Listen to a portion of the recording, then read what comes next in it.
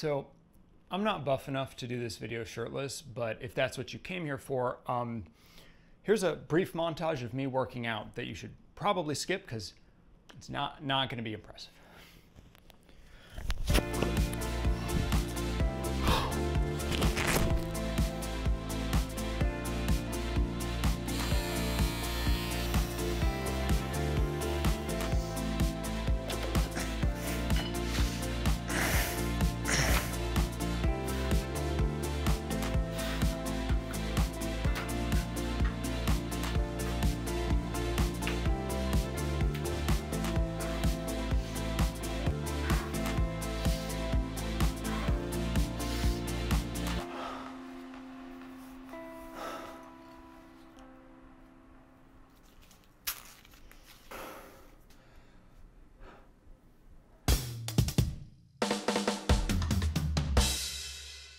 I've never had any real desire to go to a strip club.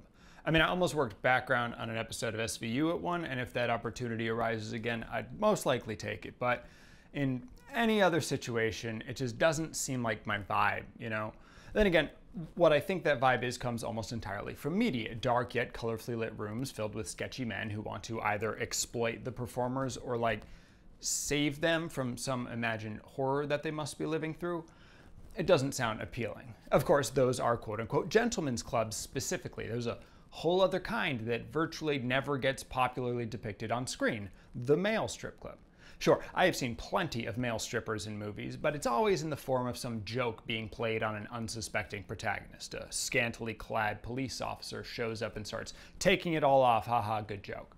But the joke is never at the stripper's expense, and that's kind of weird, right? Like, I'm sure this has already been delved into way better than I ever could, but it feels like another example of the general double standard we have around sexuality. Women are simultaneously over sexualized and criticized for owning their sexuality, while men don't face nearly that sort of stigma from either direction. And yeah, what we get instead has some pretty bad knock on effects of its own that that definitely fucked me up in a bunch of ways, and no one's going to pretend that male stripping is a respected profession or whatever, but that disrespect has different implications. Point is, based on a sample size of two movies in one franchise, male performer strip clubs seem like they're a lot more fun than their male targeted counterparts. I didn't see the Magic Mike movies for years because why would I? I like series creator Steven Soderbergh and star Channing Tatum, but neither enough to put the films at the top of my never ending list of things I should see until Film Crit Hulk came along beating the drum of the second film, Magic Mike XXL in particular. As one of only two people I follow on Twitter despite having never met slash worked with, I take his recommendations very seriously, even if I don't always agree with them. In the talkback after my London show, which took place the afternoon after I attended the performance being discussed in this video, cool dude Christopher Lewis told me that he almost always disagrees with my conclusions, but he still watches my reviews because he enjoys following the logic that gets me to them. I've thought about that a lot over the past couple months. But it was enough to get me to watch them both. And you know what? Maybe it is my thing, even if it's not my thing. Hello, by the way, and welcome to the Week I Review. You can call me confident in my sexuality. And today, I am talking about Magic Mike Live, an honest to gosh live show running in both London, where I saw it, and Las Vegas, where I feel increasingly confident I will never go. Twitter is to blame and slash or thank for this too. Without it, I'd have never known that Reefer Madness co-star Kristen Bell said that seeing Magic Mike live was better than her wedding night, after which former male stripper Channing Tatum tweeted an apology to Veronica Mars nepotism cameo Dax Shepard. It was one of those silly celebrity things that ended up on my timeline somehow right as I was trying to figure out what I wanted to do when I was in London. And it was a flash of different in a West End schedule that was virtually identical to Broadway's. Between Bell's ringing endorsement and hearing that the live show inspired Soderbergh to come back for a third entry in the film franchise, I mean, it had to be cool. But what was it? Like, was it a play set in the Magic Mike universe or a recreation of the types of dance shows that we see depicted in the films with some cinematic branding? The only thing I knew was that it had some feminist bent, but that could mean anything or, frankly, nothing. How much story were we in for? As it turns out, exactly enough. It is a pretty jarring intro, though, as a particularly misogynistic host comes out and starts making jokes at the audience. He tells women to show them her tits, and when one girl obliged, he said that if he were her son, he would have never stopped breastfeeding, that kind of thing. And it escalates and escalates until all of a sudden an onstage incident sparks the voice of Channing Tatum as God or something. I don't know. Uh, to banish all of the sexism and put a woman in charge by giving her a magic Mike. At the same time, one of the servers named Mike gets pulled on stage and is invited to learn the ropes so that he can impress the ladies like the other dancers do. From there, we transition almost entirely to the dancing slash musical performance portion of the evening as these absurdly muscular men start bumping and grinding and all sorts of moving on the stage and slash or consenting members of the crowd. And consent is the key word there, one repeated over and over again by both host and performers, and that's great because consent is great. Seriously, consent is the best and something that you need to get and maintain throughout any sort of sexual encounter. The instant somebody stops consenting, the interaction has to end. And I'm gonna be real, it feels bad. I've been in situations where people changed their minds or decided they didn't want to continue, and, and it made me feel awful. But I sure felt a whole lot less awful than I would have had I forced myself onto someone and been forced to face that face in the mirror for the rest of my fucking life. Your feelings don't matter in that moment. Theirs do. Although I will say there were a couple of moments where it felt like the structure of the show pushed back on the sort of affirmative consent idea into a generally assumed if you're here, you want this, because certain dancers went around the crowd so fast that there wasn't enough time to really check in with everyone. I found this slightly odd in the context of the show, but at the same time, it's probably true that all of the women in the room did, in fact, want those muscles all up in their business. And I say women because, as you might expect, they made up virtually the entire audience. I realized pretty quickly that there were more women with bride tiaras than there were men wearing any sort of shirt.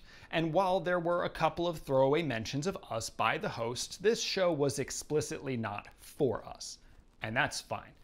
I don't think that every space needs to cater to every type of person. Last year, I went to non binary poet turned comic Alok's first stand up show, and good golly, would that experience have triggered all them right wing boys. Nearly half of the jokes were aimed directly at straight people, white people, or cis men. My politics are better than most of my described cohort, so the most cutting lines kind of glanced off me, but it was still clear that I was in someone else's space. But I can still have a good time. The set was fine, but Alok wasn't totally comfortable with the specificity of stand up performance and so flubbed some punchlines here and there.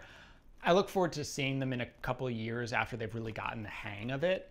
I wish I could remember the name of the opener, who's another non binary comedian who was funny as heck and clearly more practiced, but the New York Comedy Festival doesn't list their openers, even though I tweeted at them like four years ago asking for that when I went to see someone who has since been canceled. Whoops as long as I'm respectful and there for the right reasons. Straight women who grope gay men at gay bars and straight men who fake gayness in order to grope and get groped by straight women at gay bars are all bad people.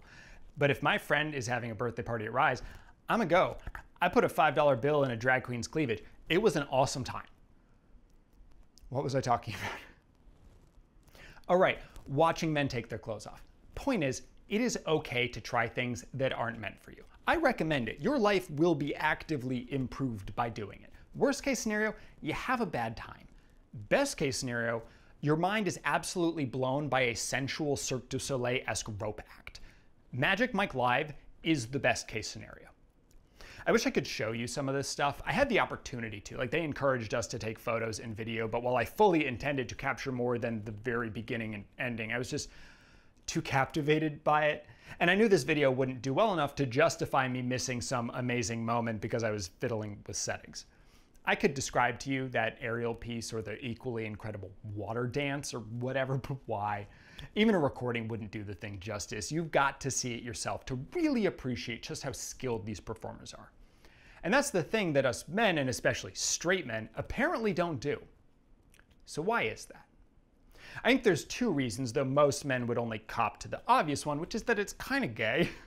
The reason straight men don't go to things meant to sexually gratify straight women is because we're sexually gratified by different things. And if we weren't, then at least one of us wouldn't be straight, now would we? Magic Mike Live is explicitly and intensely sexual, and I can see why that would be a turnoff. But guys, fun fact you don't have to be turned on to enjoy yourself. I've said before that I really like watching talented people be talented, and that's what this show is. Each of the performers gets a moment to shine, and they shine all up on that audience. So many women were given their moment to feel like a main character, all eyes on them as some dude's abs exfoliated their faces. I did feel a little bad for the heavier woman who was serenaded but not actually danced on, but otherwise I was happy for all of the people who were getting exactly what they wanted out of the night. Seeing people be happy is nice. I recommend it. But there's a second and rather darker reason why straight men would avoid a show like this jealousy.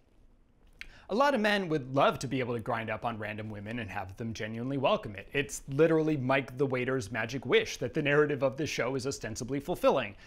But I think everyone also understands that if Mike the waiter were to grind on these very same women outside that venue without explicit permission, they wouldn't welcome it. Again, consent is key and context is everything. But even if Mike the waiter and his compatriots only have special permissions to be in women's personal space in this limited context, their giga chadliness doesn't go away when the metaphorical curtains close. These men are the Western ideal. Chiseled jaws, rippling pecs, that pelvic V thing that people talk about. Like put some spandex on them and they would slot nicely into some cinematic universe. The modern superhero look is everything that regular men aspire to be and that incels commit acts of violence because they I, I, they can't be, I guess. I, and I appreciate recently ripped folks like Kumail Nanjiani and Rob McElhenney being open about the absurd amounts of work that go into achieving and maintaining that kind of physique, the hours of daily training and other sacrifices that have to be made. And if it's not your literal job, is losing the ability to eat donuts really worth having an abdomen that you can use as a tech deck skate park? No, of course not. I don't know who that joke was for, but I liked it. But that doesn't stop me from feeling deeply conflicted every time I have one, and usually throwing it away after a couple bites. It doesn't stop me from staring into the mirror from all angles for far too long every day. Didn't stop me from cutting back my food and water intake for the last couple of days, so I'd be just a little more svelte for this video's opening. Because deep, or maybe not so deep down, I wish I looked like those guys. Fortunately, I have gotten past the worst of my self-image issues, so these performers' physiques are not the shotgun blast to my psyche that they would have been just a couple of years ago. But there's definitely still some jealousy there. And if you have any deep-rooted insecurities about the way you look, watching these sweaty dudes slide along the banisters in front of you as women swoon and scream probably won't help. Or maybe it will. I don't know. I'm not a therapist. What I am is a guy who likes having fun and wants more people to do that. You know how to have fun? Fucking go see Magic Mike Live. 8.5 out of 10. Thank you so much for watching, and thank you particularly to my patrons, my mom, my cat, Cat Saracata, Benjamin Schiff, Anthony Cole, Elliot Fowler, Greg Lucina, Kojo, Phil Bates, Willow, I Am the Sword, Liam Knipe, Claire Bear, Taylor Lindies, Andrew Madison Design, and the folks who'd rather be read than said. If you like this video, great. If not, oh well. If you want to see more, please subscribe. Hope to see you in the next one.